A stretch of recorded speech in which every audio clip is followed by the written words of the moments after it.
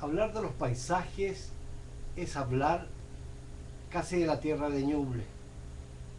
Es allí donde nos iniciamos a buscar la forma, el color. Todo movimiento de la naturaleza nos lleva a encontrar la estructura de una obra, llamémosla así, con un poco de pretensión. Pero observar y estructurar una pintura significa envolver en la retina esa forma, hacerla propia y llevarla a la tela.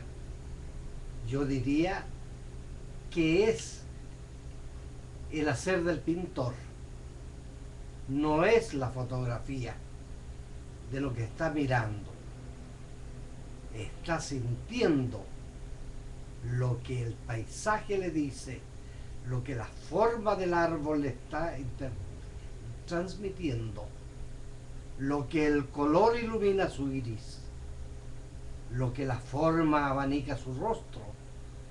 Así está aglutinando en la paleta la masa de pintura que irá directa a la tela.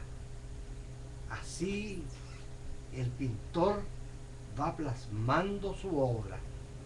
No es solamente llevar la forma y el color. No.